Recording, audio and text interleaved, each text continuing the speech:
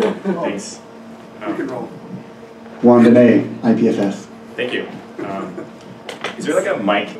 My name is Juan, and uh, I came up with a thing called IPFS a while back, and uh, there are several projects that we're doing now. IPFS is probably at the center of everything, um, and it is a new model for the web.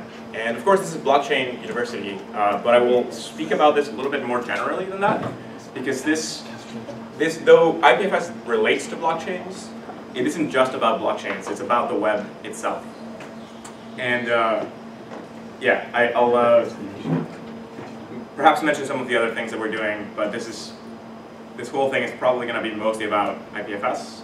Um, it might be useful for us to jump into a Gitter channel together, so we can copy and paste hashes, but we can we can probably do that right after this section. So what I'll do is I'll give you a quick presentation on what IPFS is, how it works, um, what is the model behind it, uh, what are the problems that it's trying to solve uh, in a very general sense, uh, how it relates to blockchains in general, um, how it relates to the web. Then I'll go through um, how to use IPFS, so we'll actually go through and install the, the system, we'll play around with it a little bit together, uh, and then we'll discuss how to like build things on top of it. Uh, and then we, it'll be sort of like open to questions and open to, we can do whatever we want on top of it. Um, so it's called IPFS, uh, and it's, uh, that stands for the Interplanetary File System, and that's a throwback to Licklider, who said that the, net, the he had this vision for, uh, for computers, this was back in the 60s. Uh, he said that he wanted to construct he wanted to wire up all the computers in this massive intergalactic network. And that, today, we call the internet. So the internet stands for the intergalactic network. So do think about that when you, when you think about the internet. Uh, and so IPFS is, is the file system to write on the intergalactic network, hence the interplanetary file system. Uh, it actually makes the web capable of working across really long-range links that uh, are slow, because you can ship entire applications in one go and then operate on them and move data very slowly. Meaning, if you think about the web today and you were browsing the web through Mars, you would have like an eight minute lag time to any website. and like that's just unacceptable. Uh, but anyway, that's, that's the story of the name. Uh, so the internet is this, this intergalactic network is this uh, amazing nervous system that we're all creating, right? And uh, we're all part of all these applications that we run. I don't really need to describe this very much, but I want to set it in context because uh, our entire lives today are ruled by the applications we create. Uh, in a big, in a very real way, the software that we use and the software that we create as software engineers and designers and so on um, gives humanity amazing capabilities. And you, when you craft software, you're creating tools and services that you put into the internet and now other humans, millions of other humans, billions even, will then use these services and acquire abilities that weren't there before. Right? They will suddenly be able to message the other, their, their loved ones. They will be able to message other people that they're working with in, almost instantaneously. They'll be able to collaborate on things almost instantaneously. They'll be able to speak real time with people around the globe. They'll be able to manipulate, um, they'll be able to like, remote control into some robot and like move things around or like do surgery across long-range links, right? It's absurd what we're now able to do thanks to this amazing um, thing that we call the internet. And the web and the web applications that we put onto this internet uh, pretty much define the capabilities that we have. So it's, it's a problem, so, so the web today has a few problems that we have become very concerned with and we are tackling head on. Um, and this sort of happened um, by accident. I, I, I, didn't say, I'm going to go and fix all these problems. Uh, I sort of created this thing called IPFS. Uh, wasn't even called that at the time. And it sort of ballooned into possibly solving a number of these problems. So, all right, the problems. Uh, back in the day, uh, Paul Baran, and I need to figure out whether it's Paul Baran or Baran, but I think it's Paul Baran, uh, came up with this uh, notion of categorizing networks, and, and, he was a he was one of the co-inventors of packet switching. Uh, so way before the internet, packet switching was a way of, of connecting different sets of computers together and moving around data instead of doing this like long-range link where you have a dedicated line of segmenting data into small packages of, of bytes that would like push. Uh, it's basically a way of multiplexing many streams into one. Um, it's like a very simple definition of it. Uh, and he came up with this categorization of networks, and he said, okay, well, they're centralized, decentralized, or distributed. And pretty much categorizes how we think about networks today. Um, you know, a lot of people talk about uh, Bitcoin and the blockchain as being this amazing service because it really makes it distributed, right? And it both decentralizes the payment processing and it really makes it distributed. Anybody can run this node and communicate to anybody else uh, and have this, you know, you can have like half of the network disappear and the other half continue to, to operate normally, right? Maybe not half, like, I don't want to go into like the whole like half, 51% stuff, but unrelated.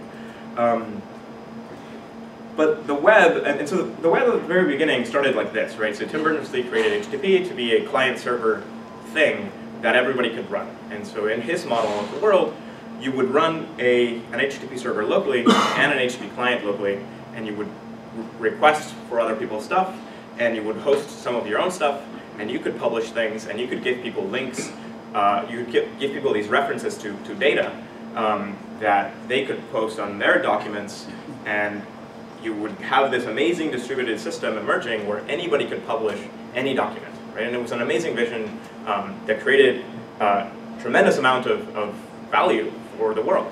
Uh, it totally upset how the status quo worked, and we had this amazing explosion of the web.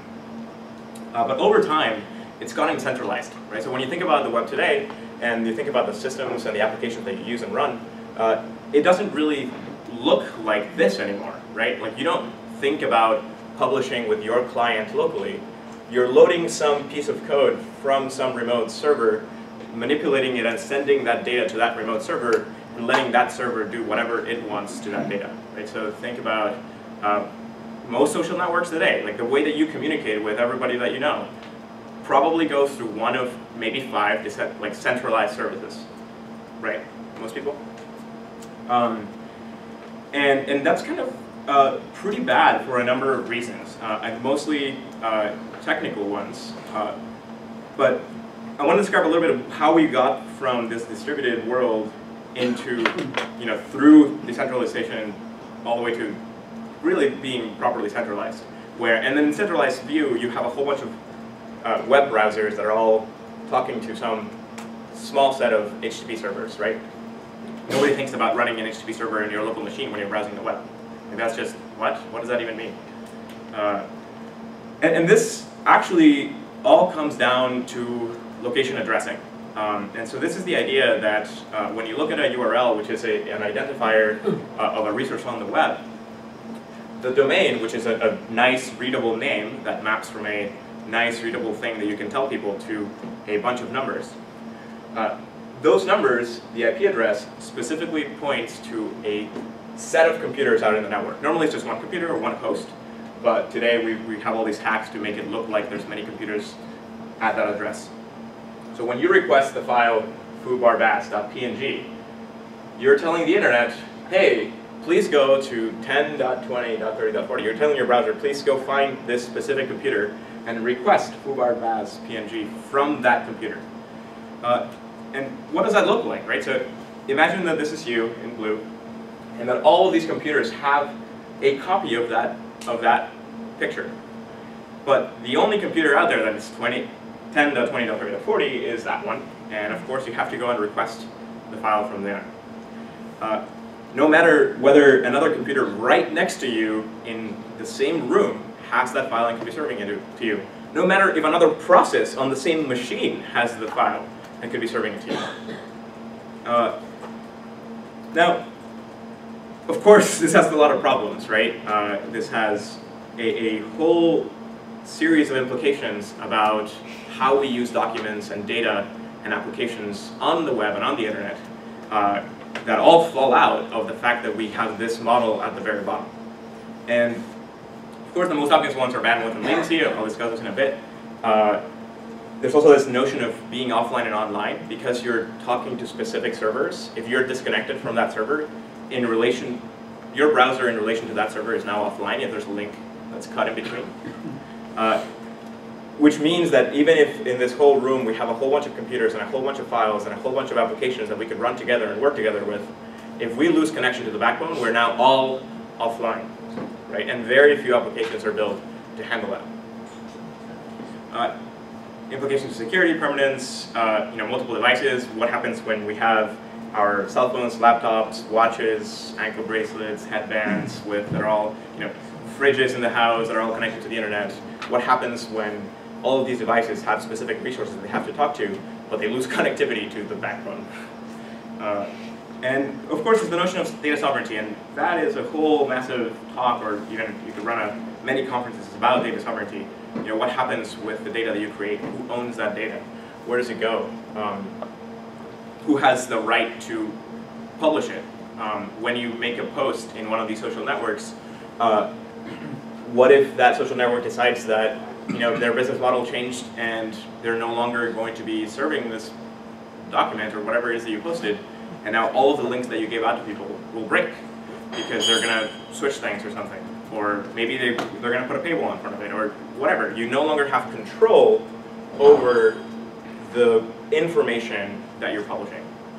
Uh, so again, the, the web was meant to be this publishing medium, right? This goes all the way back to Engelbart, with the beginning of personal computing.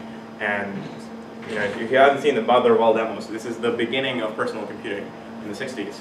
Um, and it was all about collaboration, human collaboration and human publishing as a way of um, interfacing hundreds, thousands, millions of humans together um, into a network that was extremely efficient.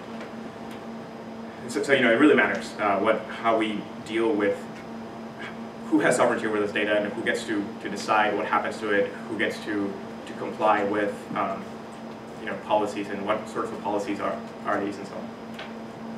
All right, so to illustrate bandwidth and latency, you know, if we're in a room kind of like this uh, with a whole bunch of people and uh, you know, I take a picture and I upload it to Facebook and I send you all a link, you now all have to make requests to Facebook and pull it down.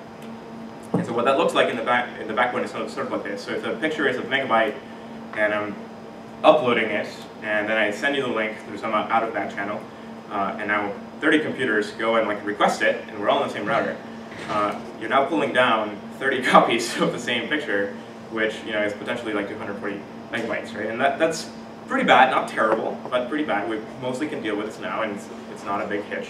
But what happens when we deal with video, right? When we, uh, when instead of a small image, we're downloading like a 200 megabyte video, and so all people at the same time hammering the network, uh, we, this could be like 48 gigabytes of bandwidth wasted, um, you know, maybe not all 48 are wasted, 48 minus 200 would be, would be wasted.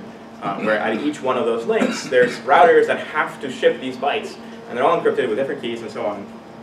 Um, and that's a really big point that I, that I probably won't get into in this talk. Uh, cryptography and the way that we do security around content has to change to accommodate a different model. But uh, this is a pretty bad picture, right?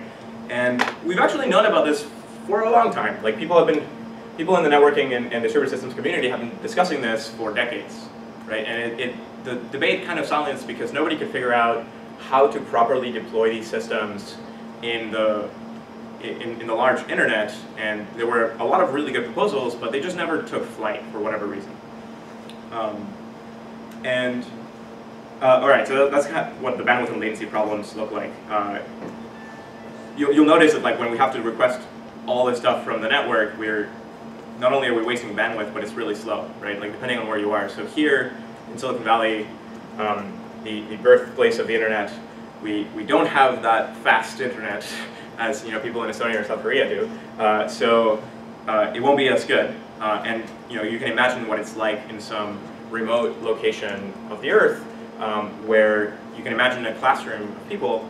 Um, they're all trying to learn or trying to like watch some important video that is going to describe them some important fact about humanity, and they can't see it because the bandwidth that they have is very limited, or the latency is enormous, and like the application is just like, oh well, sorry, we don't we don't support your network because it's just too slow, uh, and that's awful, right? Like that's really awful for people out there that manage to get connected to the internet, but don't have the capabilities that some of the more affluent places in the world do. Um, you know, All right, so online versus offline.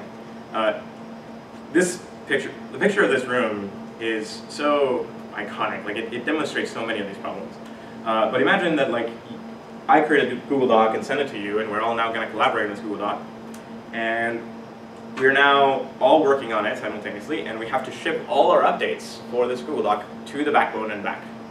Right. So that not only is that horribly inefficient because every single keystroke that we do, because we want it to feel really real time and nice, uh, is now shipped all the way to some remote server and has to be pulled down all the way back. And you know, thankfully the network is fast enough that we can actually do that.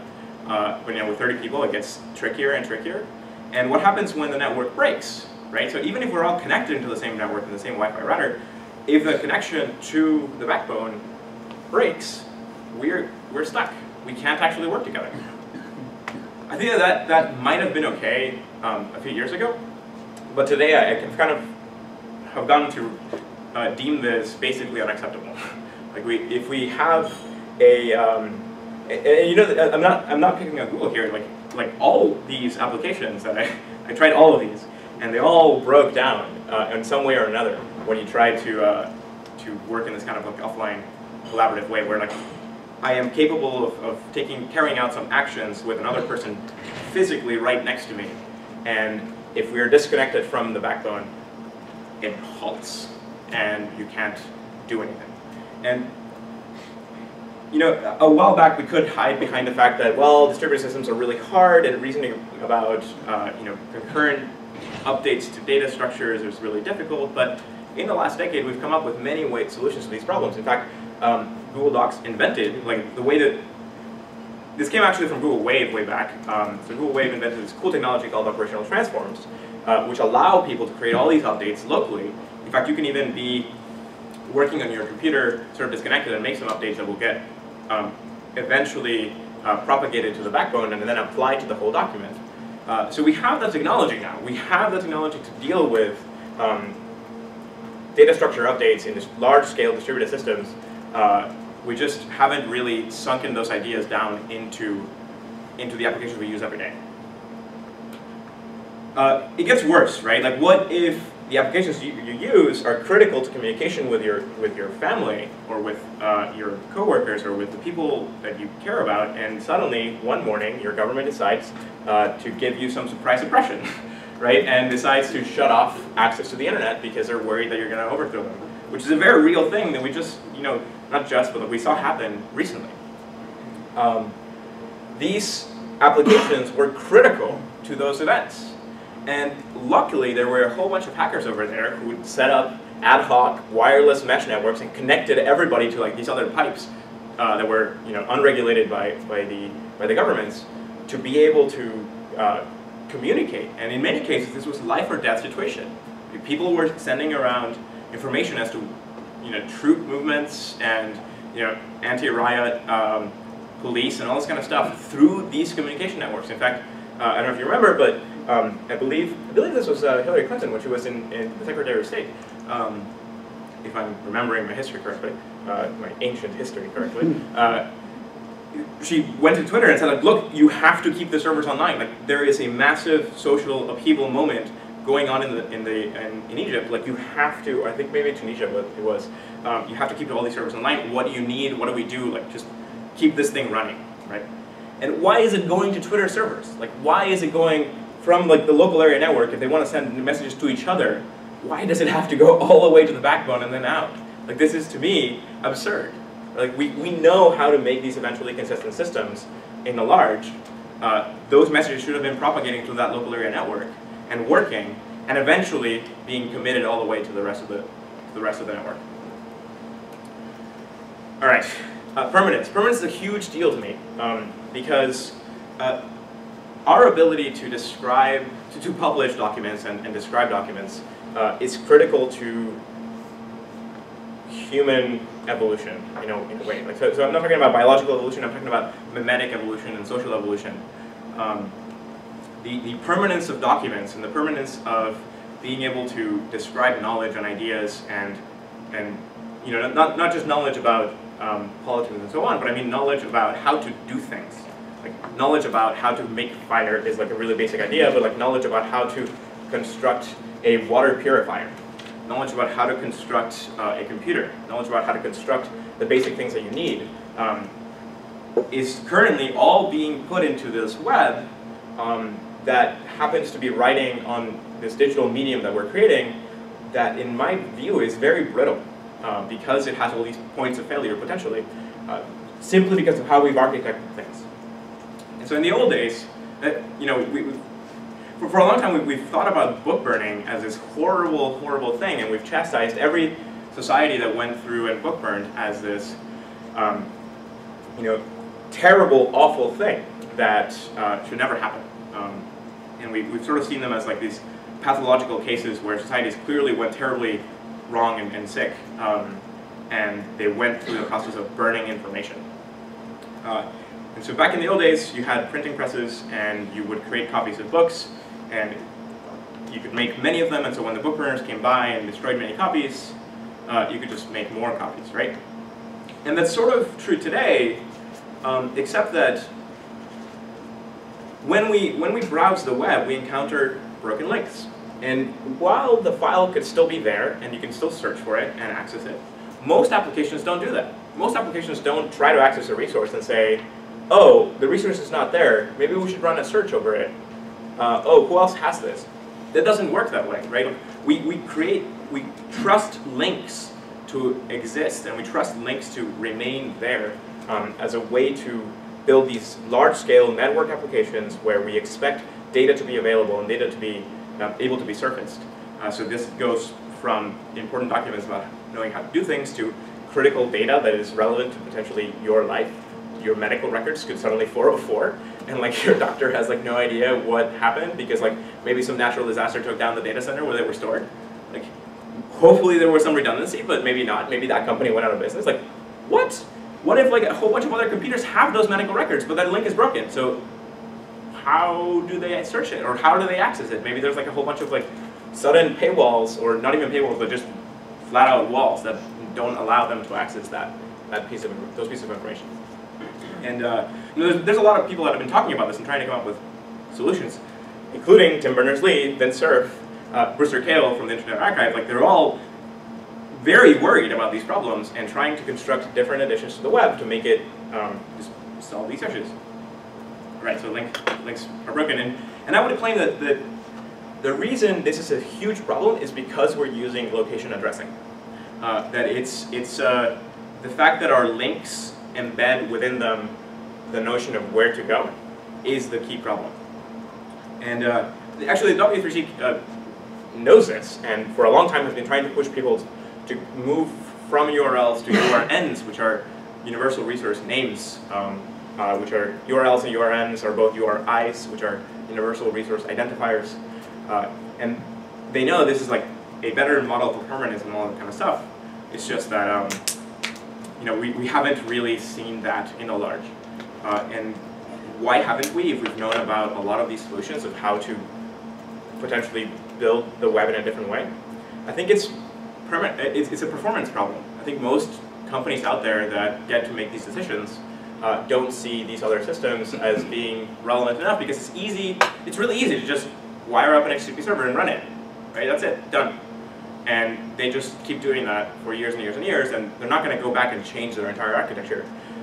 So if we want any real change, we have to come in with a, a, a huge cost savings to business.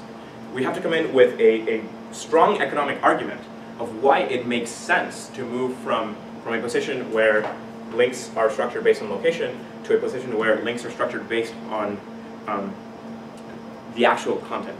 Uh, I'll describe that, how that works in a moment.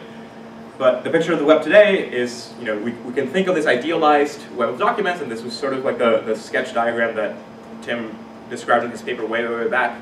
Uh, but it's not really just a web of documents in the abstract, it's a web of documents on specific devices. That's how the web works today, uh, for the most part.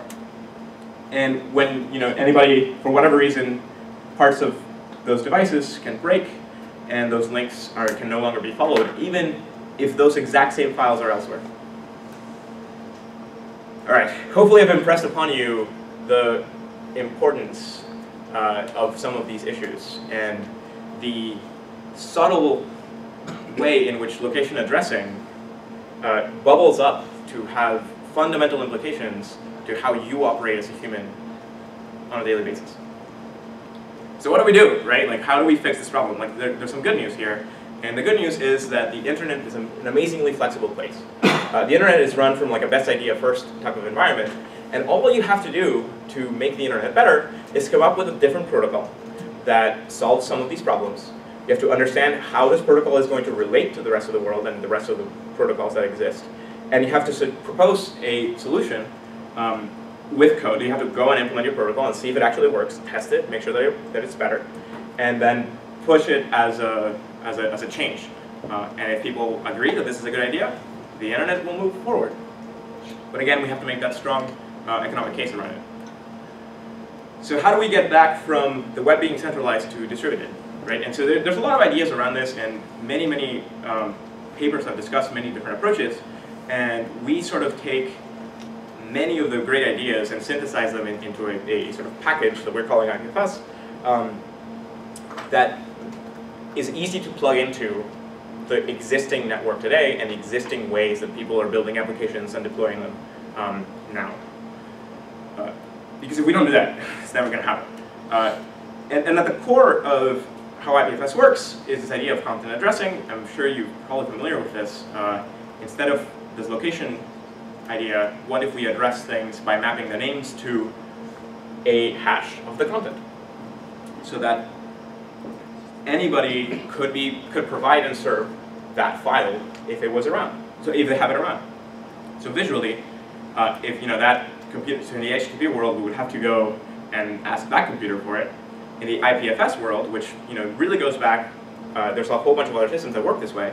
Uh, what if any serve, any computer that has that file could provide it, could serve it? That's what this is all about, making that possible. So in the video uh, example, instead of pulling it down 30 times, we would pull it down once, roughly, uh, perhaps a little bit more. And we would be able to peer to distribute it peer-to-peer -peer around us. And if the network breaks, doesn't matter. We can still view it because the links are the same. The links don't change. And that's the critical part.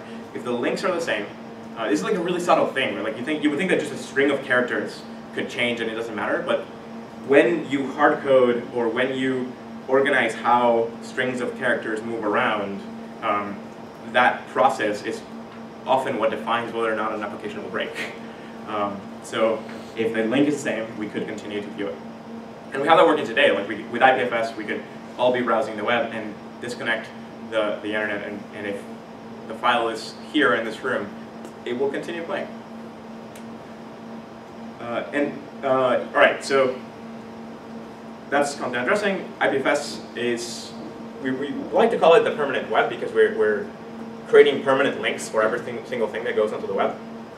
Uh, and it's really, uh, we used to call it a peer-to-peer -peer file system, a peer-to-peer -peer version file system, and it is definitely that, and that's how it started. Uh, but it makes more sense today to describe it as a new hypermedia distribution protocol. So that means a new, so a protocol is just a way, a, way that we agree we're going to do things, uh, a way that we agree we're going to do things, we're going to move around documents, media, applications, and so on. So all IPFS is is a new way of moving around data that represents media, um, media that is linked. That's what hypermedia.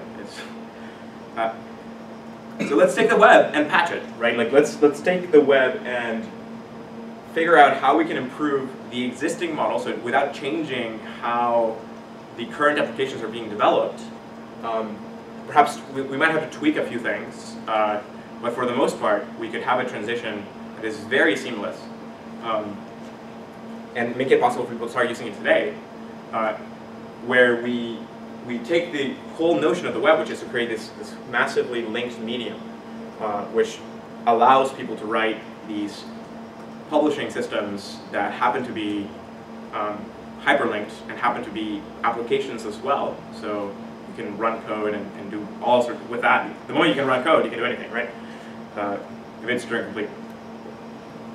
Uh, and IPFS looks like this. It, it, takes a whole bunch of ideas that have been around for a long time, um, but basically after the web, and says, if we were architecting the web today, how would we do this?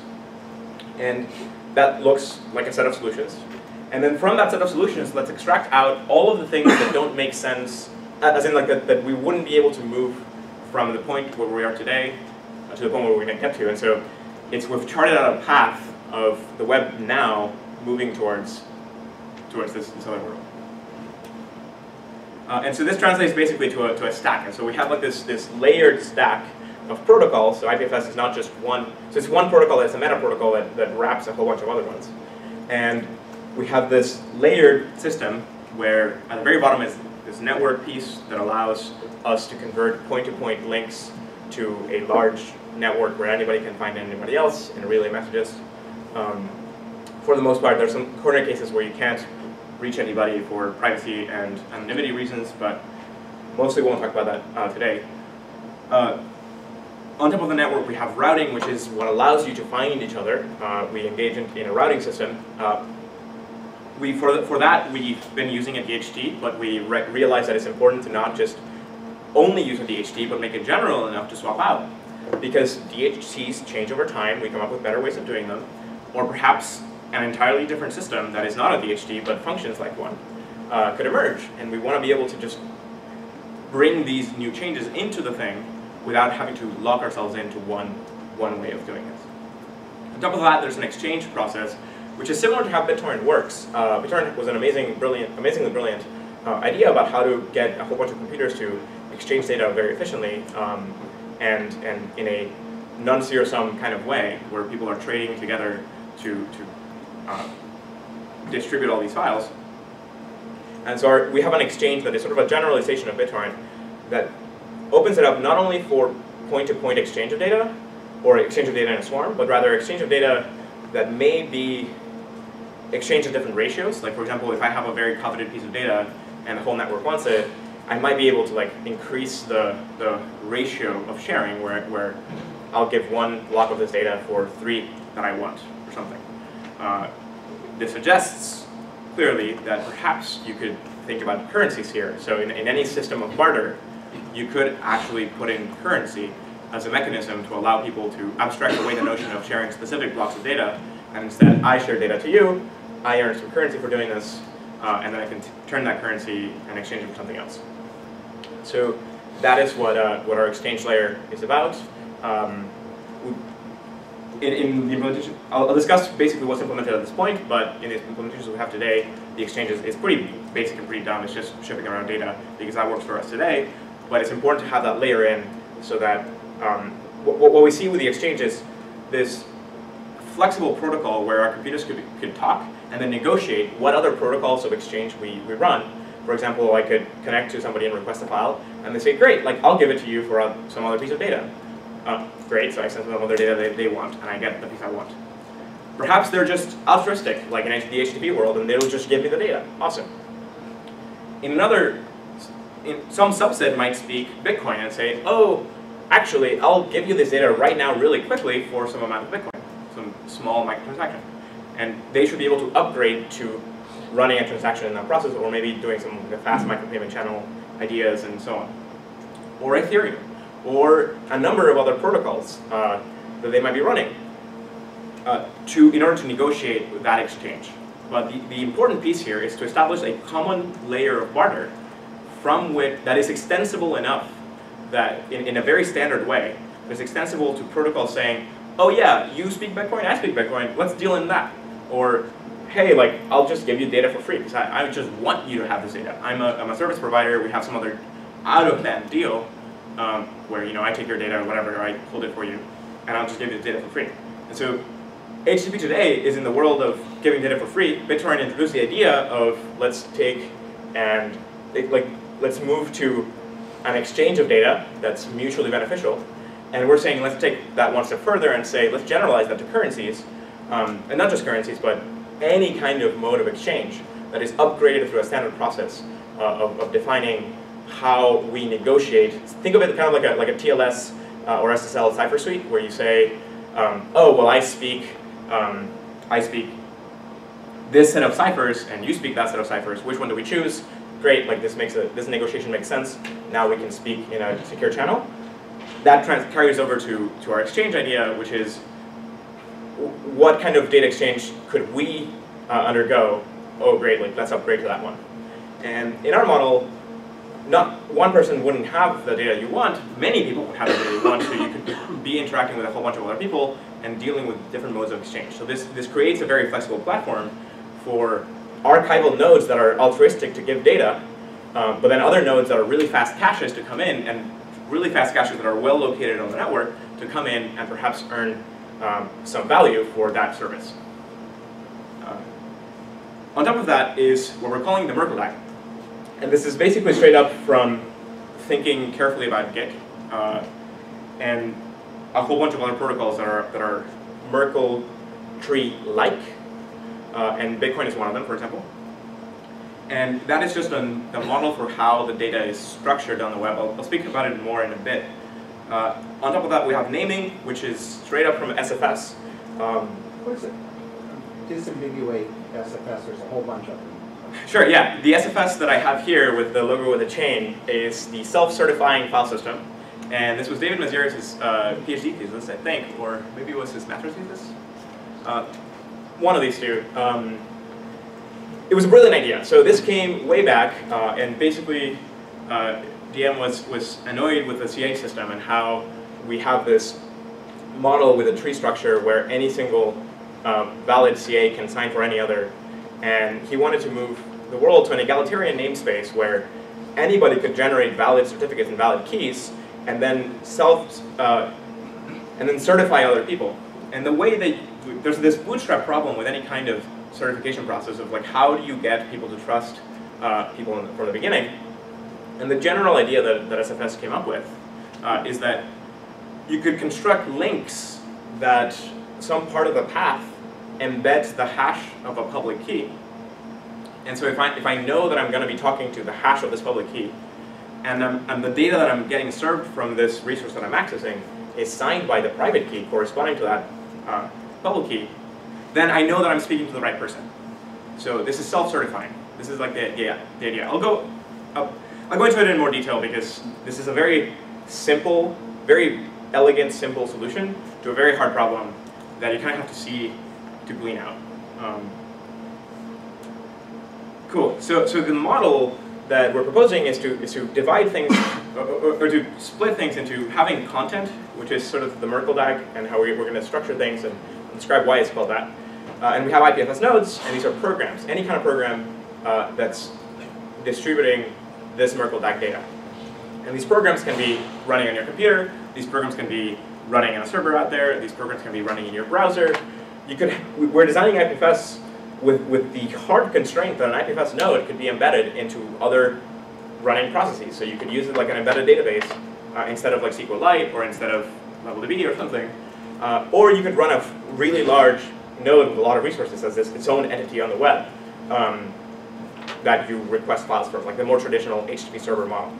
Um, and we are making it so that the protocols are lightweight enough that Internet of Things type devices can run them uh, where like you know devices that you have everywhere can be part of these of this network and speak the same protocol to each other. So, so we're going for the ubiquity of, of HTTP. Uh, because if we don't do that, then we're going to fall short. There's a lot of solutions, like part of the way a lot of the solutions in the past have failed is because they said, well, our general use case is this, so we don't care about all these other use cases, doesn't matter, that's it. Um, and so they didn't get to advance, uh, advance the, the, the world in a big way because you really have to go for ubiquity. You have to go for any program given a duplex pipe, doesn't matter if they can't open ports, if they can't open, um, if they can't connect to specific other locations, given a duplex pipe to another IPFS node, they should be able to speak this. Uh, all right, an IPFS data forms a DAG, uh, and so that means that, uh, you know, th think of the web is a web of documents you have documents linking between things, right? In a DAG, um, it, DAG means directed acyclic graph, means that nodes only point, uh, the nodes, that edges have a, have a direction, uh, but not only do they have a direction, it's acyclic, meaning that uh, once you go down, you can't find a cycle all the way back out. So the web today doesn't work that way because you could navigate to a web page and then go back to other web pages, and it's, it's really like a, like a very mutable medium. And turning it into a DAG makes it uh, easier to reason about moving around. And specifically, not only is it a DAG, but it happens to be a Merkle DAG, meaning that the links are hashes of the other nodes. So that in this edge, so here 1 is pointing to 2, 3 and 4, 2 is pointing to 3, 4 is pointing to 5. And so when you look at 1 inside of it, that means that in the data that represents 1, it has a link table. And this link table has the hash of the specific hash of these other objects. In this case, it would have a hash of 2, and it would have like a, that number in the middle is the size, the size of the data.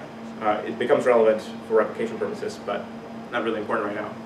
And the, the third thing is the name. So one knows 2 uh, by the name of foo, for example.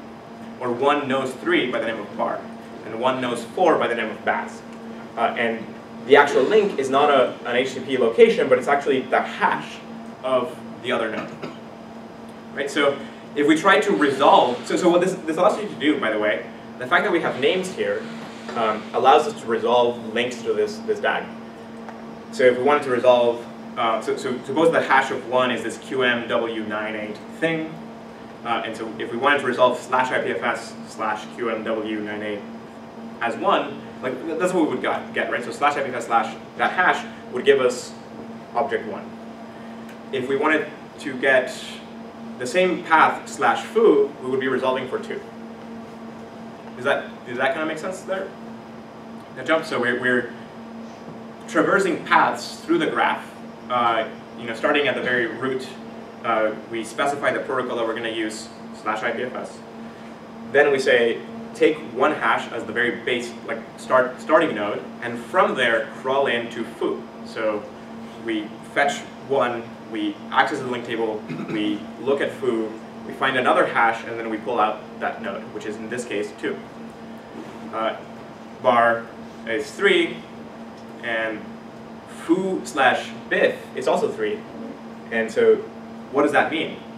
It means that we looked, so we started with object one, inside of it we went, so we went to foo, so we looked up the name foo, we found a, a hash there, we pulled out that node, which happens to be two. We looked at its link table, found biff, uh, found another hash, and then we pulled that one out. And that's object three, right? So object three here has two names. Uh, you might notice that all these objects also have another name, which is just slash IPFS slash their hash. So you can access, you can treat any object here as the root as well, uh, but you can traverse into it down any path. This is getting pretty uh, down into the gory details of how this works, uh, but it's pretty critical that, that this comes across because what this means is that we can do paths like the web today. We can do the whole notion of URLs and URL schemes and crawling and traversing through a graph, uh, but we can do it with, with these Merkle DAGs. And this is not a new idea. This, we didn't come up with this. This has been around for a long time. Um, from my perception, this came from Git. Uh, Git has this idea of trees and blobs, and you can access things the same way. They represent the Unix file system this way. But it's even, it, you know, I, I didn't know enough. Uh, it, you, it actually goes way back. Um, goes that be behind things like monotone. I believe monotone did this. Uh, it goes back to other content addressing systems. It goes back to even SSH, SFS RO, uh, which is a read-only file system built on SFS, did this already. There's been, this idea is old. Uh, how do you, yeah. how do you prevent hash, hash collisions? So if you notice, our hashes, so here's, here's where, where um, first of all, the, the hashes are cryptographic, right? So we hope that the cryptographic fun function that we're using uh, will last us for a long period of time. But you're right, none of the cryptographic hashes that we have can, can assure us that we won't find a way to break them and find collisions. It's generally an extremely rare event, right? Like we don't have hash collisions. We haven't found hash collisions um, for the hash functions that we, uh, we use today. But this can happen. So if you notice that all of the hashes start with QM. This is a format that we use called multi-hash. And the beginning of the format specifies the hash function. So we know which hash function was used to generate this, this hash so that if you, if you can use a new hash function to upgrade the whole thing, Uh, this is this is like a like a weak point of of of, uh, of how this is structured because it means that the links would have to change in that event. But this is like a decade long process. put two hashes, I mean, it's why SSL has, has two hashes. Um, Yeah, so, so you could actually start hashing objects with two multiple hashes and be able to start addressing them through, through the different paths. You, you would basically have different paths to access the same thing. Uh, and as a, as a ha- hash function becomes basically stale, uh, the system can start upgrading. It, it's, it, we want to find better ways to do this, by the way. So if, if you if there's like a good way to solve to put into the, how we are structuring things now that can get rid of this painful upgrading where we would break some links, like that would be awesome. Uh, the, the way that we're going about it and we're thinking about it is that we can solve this in the routing system. When you, I'll get to it in a bit, but when the way you actually pull objects out is that you ask people who has these objects. And so you can store some records in the routing system to describe this, this object is also hashed at these other locations. But you have to do that very early on, way before the hash function, then it, way before it's very trivial to break the function because by that point it would be too late, right? Um, but, but it allows it to be upgradable, right, and by anyone. Um, all right, so it turns out that any data structure can be represented as this DAG. We can take Unix files and directories and put them on the Merkle DAG. That's kind of what Git does. We can take, so yeah, so Git has this notion of blobs, trees, and commits. So we can do version control on top of this. Uh, we can do blockchains on top of this. You can imagine these objects being blocks in a blockchain and pointing to other blocks or pointing to transactions or pointing to wallets. And so identities in Bitcoin could be these objects.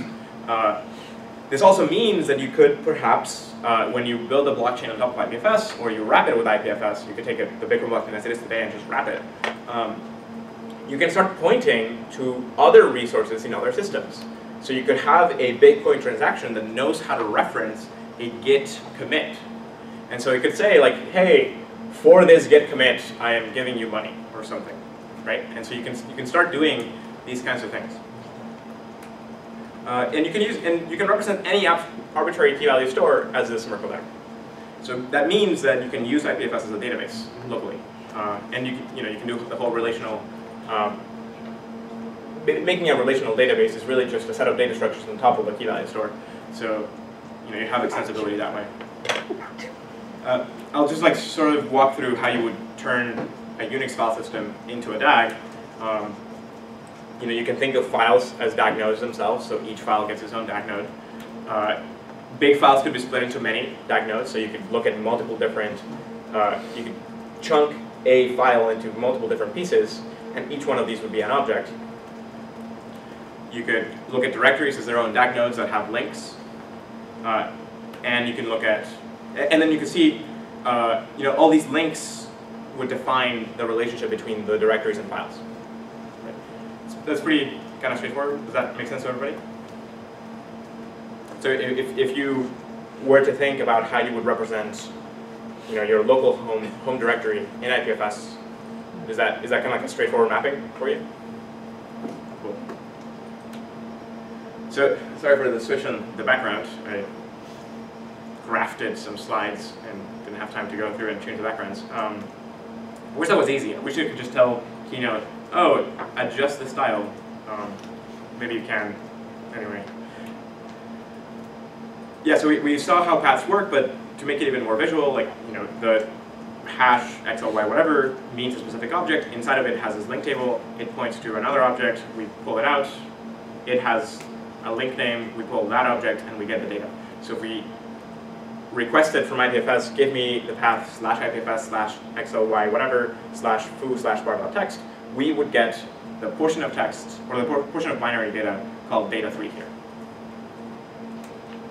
Uh, that means, so here's the, the blockchain explanation. So imagine this is the head of a blockchain, and it has some data inside of it, and it has like a parent link, and the parent link points to another object, and the that object has maybe a TX link, which happens to link to a directory of transactions, and maybe you can look at transaction 15, and that's a specific transaction, and you pull it out, and maybe it has some inputs and outputs, and and so on, right? So that this is how you would structure a blockchain on IPFS, and it makes it immediately searchable and indexable by anything.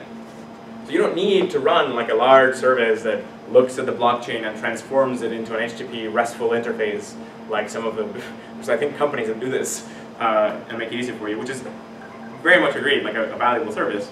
But we should be able to do this just on the network. Like we should just have a protocol, an open protocol that does it, and a few tools, and just replace it, right?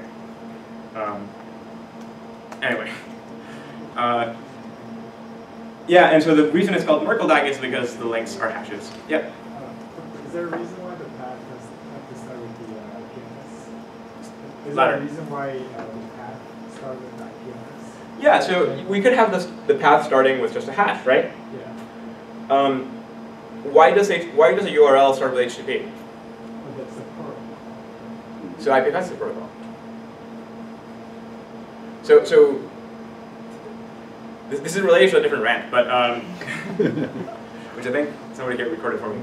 Uh, yeah, there we go. Um, we prefix with the protocol because we want to make the web and Unix come back together. Right, so Unix had this file system idea that it was really beautiful and really abstract, and you could mount any other file system within the path structure and access any resource through it. And you know, Plan 9 really took it very far. Right, it represented everything as a resource on this beautiful file system uh, idea. Uh, and then the web, uh, in creating a new world, like it went and invent, reinvented the wheel in many locations, in many places. And one of them was that it created the idea of a protocol identifier. And like if you look at a URL and how it's structured, it has a protocol identifier, and then a, a host, and then a path. Um, that's, on, in my view, on very unnecessary complexity, because you could do the same thing in a Unix file system and make it composable. So you could have slash HTTP slash domain slash path and so on, and that would mean something to the local machine because it's mounted, it mounts the web at slash HTTP, right? And I think there are a couple clever hacks that do this. But the problem though is that you now have to map things from the HTTP colon slash slash whatever format to the slash HTTP slash whatever format. What if we created a web that went back to Unix and said, let's structure oral, oral identifiers using the very nice mountable general um, path structure so that you can mount the entire thing, the entire system into the OS. And so you could access this web both through a browser and through the OS. So you could have binaries that compute uh, on objects by just reading them from, from the file system. And you can have web applications that compute on these objects by requesting them through the browser. Right. What happens in Windows? Letter. For Windows? Uh, Say that, Insider. oh, Windows. Yeah, so, right. Uh, funnily, uh, yeah, so Windows has like the backslash, the, yeah, it's a backslash.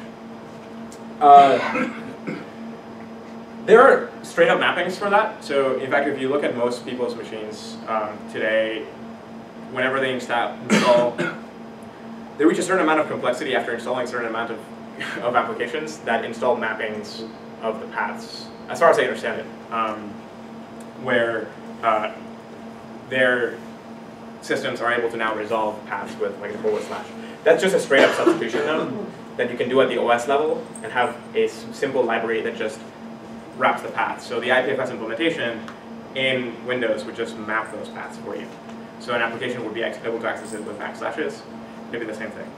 But it's, it's like a, it's, it's a bit different. Or, or it's an important point, um, and it's annoying that this exists, but you know, we have, it, it's, solve, it's a much more solvable problem than mapping from the protocol identifier to this, because people in the web and designing the web aren't really thinking about mounting these things in the OS, or mounting these things into, into VMs or whatever. Um, cool, any other questions on this? Yeah. Have you looked at the Gopher protocol? Yeah, yeah, yeah, yeah. It's Yeah. like 25 years old protocol. Yep. Yeah. Look. Uh, These ideas aren't new, right? Like, these ideas are old. It's just kind of like saying, hey, everyone, Even pre-internet, there was FidoNet that had addresses. Yes. So Yeah. why did the web break the wheel? oh my god. anyway, um, yes, like, like I agree. This is this is this specific point is not new. It just kind of like we have to deal with it and do the legwork involved in putting us back into the right track. So, which is why if you name IPFS resource, like a request, please don't do IPFS colon slash slash, please do slash IPFS slash whatever. Because if we, if we start that way and we build all these resolvers that can work in the web, and we have this working in the web, um, then uh, it will all work seamlessly so we can bring back the web on Unix. Cool. Uh, DAG gets links and hashes. You know, think about it like it. Uh, cool. Any other? So, by the way, Merkle. Why is it called the Merkle DAG? Right. So, people might be familiar with Merkle tree, and for a long time, these systems have been called Merkle tree-based systems. Uh, so many people refer to Git as a Merkle tree. Uh, but I claim that it's not. Uh, I I claim that, that Git is a distinct data structure from a Merkle tree, and there's an important distinction to be made because when cryptographers talk about Merkle trees, they think this, for the most part. Um, not always, but for the most part. And so a Merkle tree is a, is a data structure where it's purely a hash tree where the nodes, the internal nodes, are only hashes and they're, they're bunched together, and the data exists only at the leaves. Uh, a, the Git objects don't look like that, right? So they have data in these blobs, but the trees are also data. They have important data, and the commits also have important data. Uh, a blockchain is also not a Merkle tree, but it is a Merkle DAG, right? A blockchain has this structure with hashes and links and so on. Uh, so Merkle trees, Git, and the blockchain are all Merkle DAGs, but the blockchain and Git are not Merkle trees. Is that good? Cool. This is why it's called that. Uh, sometimes I have to like describe it, but uh, we decided to name it this because in calling things Merkle trees, it became a very difficult uh, communication process when people start making assumptions about how the thing behaves that are based on the different interpretation of the data structure. So I'm calling for people to please name Git a Merkle DAG, not a Merkle tree. Um, all right. Uh, we, we already saw how like the structure works, uh, but very roughly, the, the idea here is that every node in IPFS could have links or data, and making it that allows you to build anything on top of it. An IPFS node, uh, by contrast, so not the actual data nodes, but the programs that are going to be running this protocol, uh, all of them have a cryptographic identity, so they have a, a public and private key pair. Uh, you can sign the, the key pair so that you know uh, where, uh, you, you can set the key pair so that you can create this, this hierarchy of control or ownership about which node means what. Um, these nodes connect to each other. Uh, they store parts of the DAG. Uh, they can get more pieces of the DAG from each other, so they exchange the objects, the data objects, and they can be run as a server, or they can be run embedded in applications, which means that uh, you can think of them as HTTP servers today uh, and run them sort of on their own, or you can think them as a, as a network service on your on your computer and have like an IPFS service running on your OS that other applications talk to, or you can actually just embed it directly into your application, right? If you don't, if you're gonna write a simple application that you want deployed in a whole bunch of use cases, you can embed the actual thing into your application. Much like an HTTP server, right? So when we think about HTTP servers today, it's trivial to embed an HTTP server into your applications. There's a whole bunch of libraries for it. Ten years ago, that wasn't the case. People thought about HTTP servers as, a, as you know, Apache and Nginx and a few others, but you know they were their own separate thing. But now it's you know trivial to just be like, oh great, like I'll write an API, I'll just put in an HTTP server into my application. And so we want, we're designing IPFS for that type of ease of use as well. A- Any questions on this? This kind of like just describing our moment. And these IPFS nodes form peer-to-peer networks. They're all transport agnostic, so we can't even we can't even uh, have the constraint that we are able to open a port because in some cases we can't. Uh, the OS doesn't let us, or we're in a browser, so we can't open a UDP or TCP port. All we get is WebRTC or WebSockets, um, or HTTP. So we should be able to work across any single transport. And, and so we take the internet layering very seriously here. We're not making assumptions. Uh, and we have to perform NAT traversal. So this is one of the things where, because of the state of the network today, we have to go through the process of being able to bust through NATs and open ports wherever possible, and in the worst case, be able to relay. Uh, so for any node to find each other, we have to be able to relay. And that NAT traversal part is dependent on the routing system. So a lot of a lot of our, our of our design actually points out that many of the problems that people try to solve really depend on how you want to do routing, how you want to nodes to find each other and find content. And that is a, a thing that you can sort of modularize as a thing and then replace others, but don't make assumptions above that layer. Um, and so routing systems are things like DHTs and so on. Um, you know, this is like a standard chord model, uh, or can, uh, I think Kademlia's on the right, uh, and you can think of like IPFS nodes somewhere in a ring, and know nodes pointing to other nodes, and nodes being responsible for portions of it. Uh, but this is one implementation of a routing system. Happens to be the trivial implementation we have today because it's DHTs and tried and true, and they scale pretty nicely. But other routing systems can come in and be replaced depending on your application use case. For example, if you're inside a data center and you need to write uh, route to find some other node and find a specific piece of content, you don't want to go and ask another node in the DHT, in the global DHT, somewhere else where the thing is. You might want to have like your own specific thing. Uh, the exchange I described works a little bit like BitTorrent. You can like you know get the pieces, and that's it. All right. Thanks for bearing with me. That was a lot. It, it's important to install those pieces of information into your brain because if I don't, then it'll be very confusing when you're like manipulating the thing. You're like, what? Why does this even work this way?